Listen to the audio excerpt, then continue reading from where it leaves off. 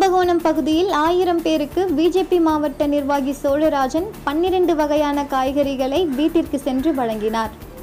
கும்பகோணம் அருகே அன்னலகிரகம் ஊராட்சியில் பிஜேபியை சேர்ந்த சோழராஜன் என்பவர் ஆயிரம் ஏழைகளுக்கு பல வகையான காய்கறிகளை வாங்கி கொடுத்து அசத்தினார்.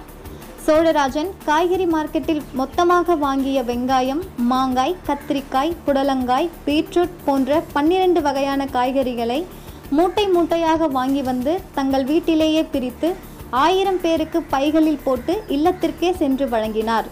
இந்த சம்பவம் அப்பகுதி ஏழைகளை மிகவும் மகிழ்ச்சியடைய வைத்தது.